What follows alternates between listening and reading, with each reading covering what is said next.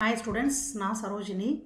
இந்த வீடியோவில் டுவெல்த்து ஸ்டாண்டர்டில் இருக்கக்கூடிய மேக்ஸ் சப்ஜெக்டில் first chapter matrix and determinants அப்படிங்கிற சாப்டரை இந்த வீடியோவில் நம்ம பார்க்க போகிறோம் ஸோ இதில் உங்களுக்கு தேவையான சில ஃபார்முலாஸ் நான் கொடுத்துருக்குறேன். இந்த எக்ஸசைஸில் நீங்கள் சில சம்மெல்லாம் போடும்போது உங்களுக்கு நிறைய இடத்துல ஃபார்முலாஸ் தேவைப்படும். பொதுவாகவே நீங்கள் எந்த எக்ஸசைஸ் பண்ணுறா இருந்தாலும் அதுக்கு முன்னாடி நீங்கள் இருக்கிற ஃபார்முலாஸை ரெஃபர் பண்ணுறீங்க அப்படின்னா உங்களுக்கு சம்மு போடும்போது ரொம்ப ஈஸியாக இருக்கும். ஸோ அதுபடி நம்ம பார்க்கும்போது எக்ஸசைஸ் ஒன் பாயிண்ட் ஒனில் இருக்கக்கூடிய ப்ராப்ளத்துக்கு நான் இங்கே சில ஃபார்முலாஸ் கொடுத்துருக்கேன். இதை ஒரு தடவை நீங்கள் கோத்ரூ பண்ணிவிட்டு நம்ம சம்மை பார்க்க ஆரம்பித்தோம் அப்படின்னா உங்களுக்கு சம்மெல்லாம் ஈஸியாக புரிய வரும்.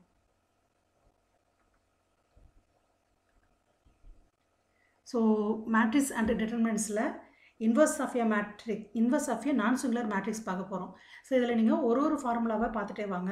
ஸோ இதில் என்ன சொல்லியிருக்காங்க அப்படின்னா for every square matrix A of order என்னில் A into adj A is equal to adj A into A is equal to determinant A I I N அப்படின்னு சொல்லியிருந்திருக்காங்க. அதாவது நீங்கள் ஏவோட அஜிஏவை மல்டிப்ளை பண்ணாலோ இல்லை அஜியோட ஏவை மல்டிப்ளை பண்ணாலும் நமக்கு ஒரு டிடம் டிட்டர்மினேஷன் கிடைக்கும் அப்படின்னு சொல்லியிருக்காங்க. அடுத்தது பார்த்தீங்கன்னா இன்வர்ஸ் இதில் பார்த்தீங்கன்னா இந்த ஃபார்முலா ஓகே இதில் அடுத்தது இன்வர்ஸ் இந்த இன்வர்ஸை யூஸ் பண்ணி தான் நம்ம என்ன பண்ண போகிறோம்னா இந்த ஃபஸ்ட்டு எக்ஸசைஸில் இருக்கிற முக்காவாசி சம்மு நமக்கு அட் அட்ஜாயிண்ட் அண்ட் இன்வர்ஸ் வச்சு தான் நம்ம பார்க்க போகிறோம் அப்போ இன்வர்ஸ் ஃபார்முலா என்ன அப்படின்னு பார்த்தீங்கன்னா ரொம்ப ரொம்ப இம்பார்ட்டன்ட் இதுலேருந்து உங்களுக்கு two mark sorry three mark and five marks வரதுக்கான வாய்ப்புகள் நிறைய இருக்குது அப்போ A inverse equal to one by mod A into adj of A நீங்கள் அட்ஜ் ஏ கண்டுபிடிக்கிறது எப்படி? அட்ஜாயின்ட்டு ஏ எப்படி கண்டுபிடிக்கிறது அப்படின்னு தெரிஞ்சுக்கிட்டீங்க அப்படின்னா ஏ இன்வர்ஸ் கண்டுபிடிக்கிறது ரொம்ப ஈஸியாக இருக்கும். இதில் நீங்கள் முக்கியமாக பார்க்க வேண்டியது டிட்டர்மினட் ஏ வந்து நாட் ஈக்குவல் டு ஜீரோவாக தான் வரணும். ஏன்னா உங்களுக்கு ஒன் பை ஜீரோ ஜீரோங்கிற ஆன்சர் வந்துருச்சுன்னா இன்ஃபினிட்டி ஆகிடும் ஸோ நம்மளால் அதை கண்டுபிடிக்க முடியாது. அதனால் மா டிட்டர்மெண்ட் ஏ மாடலஸ் அதாவது determinant A not equal to ஜீரோன்னு வந்ததுன்னா ஏ இன்வர்ஸ் எக்ஸிஸ்ட் அப்போ ஈஸியாக நம்ம என்ன பண்ணலாம் அப்படின்னா இன்வர்ஸ் கண்டுபிடிச்சிட்டு போயிட்டே இருக்கலாம். அடுத்தது நீங்கள் பார்த்தீங்கன்னா properties of inverse inverse of matrices so இதில் சில ப்ராப்பர்ட்டிஸ் எல்லாம் கொடுத்துருக்காங்க. இது எல்லாமே உங்கள் புக்கிலேருந்து தான் நீங்கள் பார்த்துக்கலாம் நான் அதை கோத்ரூ பண்ணி தான் ஃபுல்லாக எடுத்துருக்கிறேன். ஸோ நீங்கள் உங்கள் புக்கை தரவாக நீங்கள் கோத்ரூ பண்ணும்போது ஃபார்மாஸ்லாம் உங்களுக்கு ஐடென்டிஃபை ஐடென்டிஃபை பண்ணிக்கலாம். ஸோ இதில் நீங்கள் எப்படி ஒன்று ஒன்றா பார்க்கும்போது லெஃப்ட் கேன்சலேஷன் லா அடுத்தது ரைட் கேன்சலேஷன் லா ஒரு ஒரு லாஸும் இதில் நீங்கள் இதெல்லாம் இதெல்லாம் நீங்கள் ஃபுல்லாக கோத்ரூ பண்ணும்போது ஒன் வேர்ட்ஸ் ஈஸியாக உங்களால் அட்டன் பண்ண முடியும். ஒன் வேர்ட்ஸை யூஸ் பண்ணுறது மட்டும் இல்லை க்ரியேட்டிவ் ப்ராப்ளம்ஸ்லாம் கேட்டால் கூட உங்களால் அட்டன் பண்ண முடியும். சி இதே மாதிரி நீங்கள் இப்போ பார்த்துட்டே வரீங்க அப்படின்னா இதை பொறுத்த வரைக்கும் இந்த நைன்த்து ஃபார்முலா ரொம்ப important adj of lambda A is equal to lambda power n minus one into adj A so இதில் நமக்கு சாதாரணமாக three by three or two by two by two matrix கொடுத்துட்டா ஈஸியாக போட்டுடலாம். பட் அதுக்கு முன்னாடி நமக்கு ஒரு ஸ்கேலார் வந்தது அப்படின்னா அப்போ நம்ம போடும்போது கஷ்டப்படுவோம். அப்போ நம்ம இந்த மாதிரி ஃபார்முலாஸ் நீங்கள் ஐடென்டிஃபை பண்ணிட்டீங்க அப்படின்னா ஈஸியாக அங்கே சப்ஸ்டியூஷன் கொடுத்துடலாம். இதில் இந்த சம்மெல்லாம் ரொம்ப ரொம்ப இம்பார்ட்டண்ட்டான ஃபார்முலாஸ் இந்த இந்த ஃபார்முலாஸை யூஸ் பண்ணி சம்மெல்லாம் நம்ம போடுவோம். அதாவது அஜ்ஜி ஏ கொடுத்துட்டு ஏ இன்வர்ஸ் கேட்பாங்க. அதே மாதிரி அஜ்ஜி ஏ கொடுத்துட்டு ஏ கேட்பாங்க. அப்போ அந்த மாதிரி சமயத்துலலாம் இந்த ஃபார்முலா உங்களுக்கு ரொம்ப யூஸ் ஆகும். A inverse equal to plus or minus one by root of mod A into adj of A அதே மாதிரி ஏ இது வந்து இன்வர்ஸ் ஃபார்முலா இதுவே அட்ஜ் ஏ கொடுத்துட்டு ஏ கேட்குறாங்க அப்படின்னா A is equal to plus or minus one by root of determinant A into adj of adj A இந்த ஃபார்முலாஸ்லாம் ரொம்ப ரொம்ப இம்பார்ட்டன்ட் இதெல்லாம் நல்லா நீங்கள் எழுதி வச்சுட்டு பைகாட் பண்ணிங்க அப்போ தான் உங்களுக்கு ஈஸியாக இருக்கும். ஸோ இந்த இடத்துல ஆர்த்தோக்னல்னு சொல்லி கேட்டிருக்காங்க. ஆர்த்தோக்னல் ப்ரூவ் பண்ணுங்கன்னு கேட்டுங்க கேட்டாங்க அப்படின்னா A inverse equal to A power T A inverse equal to A power T so இந்த மாதிரி ஃபார்முலாஸை நீங்கள் கோத்ரூ பண்ண பண்ண உங்களுக்கு சம்மு வந்து ரொம்ப ஈஸியாக இருக்கிறோம். இப்போ நம்ம எக்ஸசைஸ் போகலாம்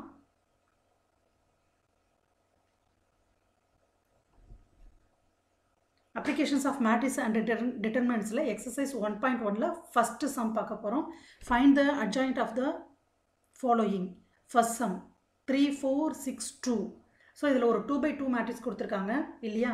ஸோ இதில் அட்ஜாயிண்ட் தான் நமக்கு கேட்டிருக்காங்க. அட்ஜாயிண்ட் மட்டும் நீங்கள் கண்டுபிடிச்சா போதும் அப்படின்னு சொல்லியிருக்காங்க. பொதுவாக நீங்கள் அட்ஜாயிண்ட் கண்டுபிடிக்கணும் அப்படின்னா மூணு ஸ்டெப்ஸை நல்லா ஞாபகம் வச்சுங்க.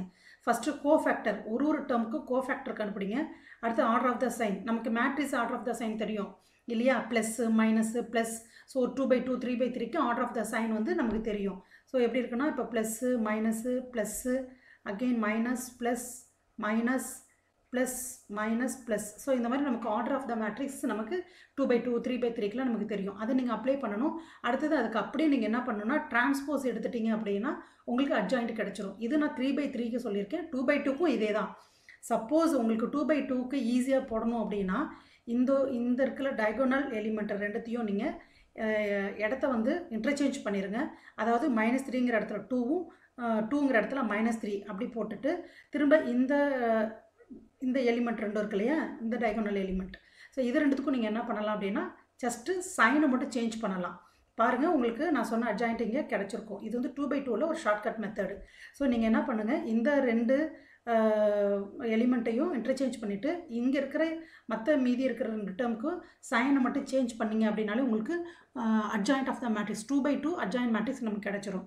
இல்லை நான் ஸ்டெப் பை ஸ்டெப் தான் போட போகிறேன் அப்படின்னா ஸோ நீங்கள் என்ன பண்ணுங்கள் கோ ஃபேக்டர் கண்டுபிடிங்க. ஒவ்வொன்றுத்துக்கும் இப்போ நம்ம கோ ஃபேக்டர் த்ரீக்கு கோ ஃபேக்டர் கண்டுபிடிக்கலாம் ஃபோருக்கு கோ ஃபேக்டர் கண்டுபிடிக்கலாம் அதே மாதிரி சிக்ஸுக்கு கோ ஃபேக்டர் டூக்கு கோ ஃபேக்டர் அதுக்கப்புறம் நீங்கள் என்ன பண்ணுறீங்க சைன் அப்ளை பண்ணிவிட்டு ஸோ ப்ளஸ் மைனஸ் நான் இங்கே போட்டிருக்கேன் பாருங்கள் இந்த மாதிரி சைன் அப்ளை பண்ணிவிட்டு அதுக்கு நீங்கள் டிரான்ஸ்போஸ் எடுத்தீங்க அப்படின்னா உங்களுக்கு அட்ஜாயிண்ட் கிடச்சிரும். ஸோ அதில் நம்ம செகண்ட் சம் பார்க்கலாம். Two three one three four one three seven two ஒரு த்ரீ பை த்ரீ மேட்ரிக்ஸ் கொடுத்துருக்காங்க. ஸோ கொடுத்துருக்கிற மேட்ரிக்ஸை நீங்கள் என்ன பண்ணுங்கள் ஃபஸ்ட்டு ஏன்னு செலக்ட் பண்ணிங்க. ஸோ எந்த சமயமே நம்ம எடு கொடுத்துருக்கிறத ஒரு சொல்யூஷனில் எடுக்கும்போது given or we know that or A அந்த மாதிரி நீங்கள் எடுத்துட்டீங்க அப்படின்னா சம்மு வந்து ப்ராப்பராக போகிறதுக்கு ஈஸியாக இருக்கும். இப்போ நம்ம கொடுத்துருக்கிற சம்மை என்ன பண்ணியிருக்கோம் ஏன்னு எடுத்தாச்சு. நான் என்ன சொல்லியிருக்கேன்? இதுக்கு அட்ஜாயிண்ட் தான் கண்டுபிடிக்க சொல்லியிருக்காங்க. இல்லையா? அட்ஜாயிண்ட் கண்டுபிடிக்கணும்னா நம்ம என்ன பண்ணணும்? கோ ஃபேக்டர் ஃபஸ்ட்டு கண்டுபிடிக்கணும். அடுத்தது சைன் அப்ளை பண்ணணும். அடுத்தது டிரான்ஸ்போஸ் இது மூணு நான் சொல்லியிருக்கேன். இல்லையா?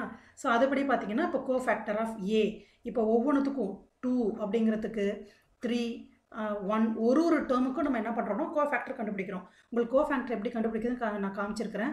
இப்போ டூ அப்படிங்கிறது இப்போ நீங்கள் கண்டுபிடிக்கிறீங்க அப்படின்னா இந்த ரோ இந்த காலம் நமக்கு வரக்கூடாது. மீதி இருக்கிறத நம்ம என்ன பண்ணிக்கலாம்னா மல்டிப்ளை பண்ணிக்கலாம். Four one seven two so அதே மாதிரி இப்போ த்ரீ எடுக்கிறீங்க அப்படின்னா அந்த ரோ அந்த காலம் நமக்கு வராது. மீதி இருக்கிறது எல்லாமே வரும். ஸோ இந்த மாதிரி நீங்கள் கோ ஃபேக்டர் ஆஃப் ஏ என்னங்கிறத எழுதிங்க. எழுதி முடிச்சுட்டு அதுக்கப்புறம் என்ன பண்ணுறீங்க அப்படின்னா சைனை வந்து அப்ளை பண்ணிங்க.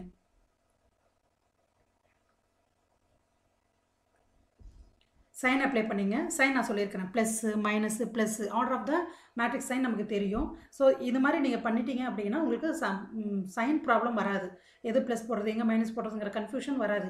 ஃபஸ்ட்டு கோஃபேக்டர் தெளிவாக கண்டுபிடிச்சிங்க. கோஃபேக்டர் கண்டுபிடிச்சதுக்கப்புறம் நீங்கள் என்ன பண்ணுங்கள் சைன் அப்ளை பண்ணுங்கள் அதில் எந்த தப்பும் கிடையாது. சைன் அப்ளை பண்ண பிறகு இப்போ இங்கே ப்ளஸ் இன்ட்டு ப்ளஸ் இங்கே நமக்கு என்ன வரும்?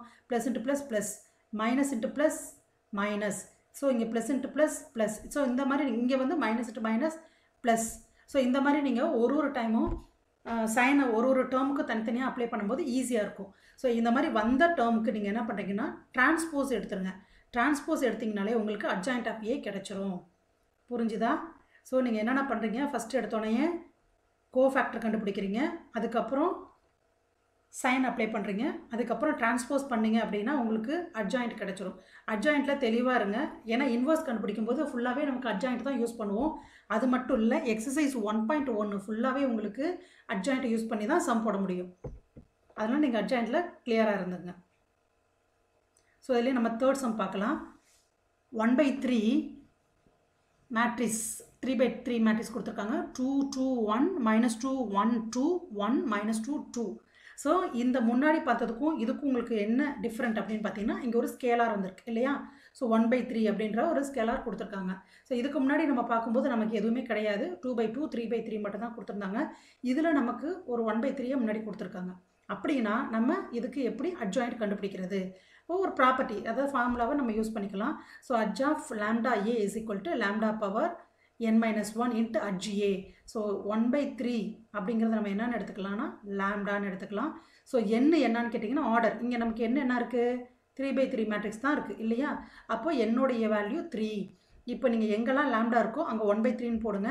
என்ன எங்கே இருக்கோ அங்கெல்லாம் நீங்கள் த்ரீ அப்படின்னா அப்ளை பண்ணிங்கன்னா உங்களுக்கு என்ன ஆன்சர் வரும் பாருங்கள் adj of one by three A is equal to one by three the whole squared n minus one என்ன இருக்குது த்ரீ அப்போ த்ரீ மைனஸ் ஒன் நமக்கு என்ன வரும்?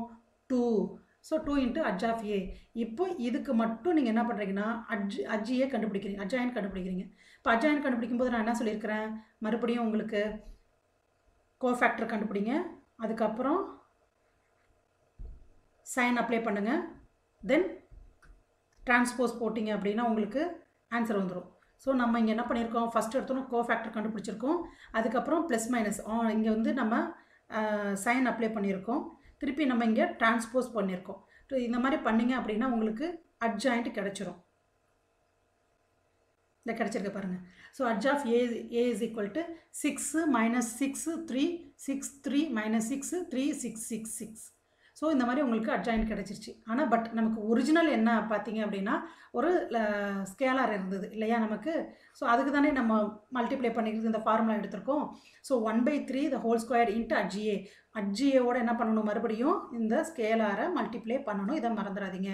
அப்போ one by three into one by three இப்போ இதில் இருக்கிற ஒன் பை த்ரீயை நம்ம ரெண்டாக பிரித்து எழுதுகிறோம் அப்படின்னா இந்த ஒன் பை இந்த ஒரு த்ரீயால் உள்ளே என்ன பண்ணிக்கலாம்னா ஃபுல்லாக ஒரு ஒரு டேர்மையும் நம்ம டிவைட் பண்ணிக்கலாம். சிக்ஸு மைனஸ் சிக்ஸு த்ரீ இது மாதிரி ஒரு ஒரு டேர்மையும் டிவைட் பண்ணிக்கலாம். அப்போ பேலன்ஸ் என்ன இருக்குது one by three into two minus அதாவது சிக்ஸு த்ரீயால் நம்ம டிவைட் பண்ணோம்னா two minus two one two one minus two one two two so இதுதான் இதோடைய அட்ஜாயிண்ட் ஓகே தேங்க்யூ ஸ்டூடெண்ட்ஸ்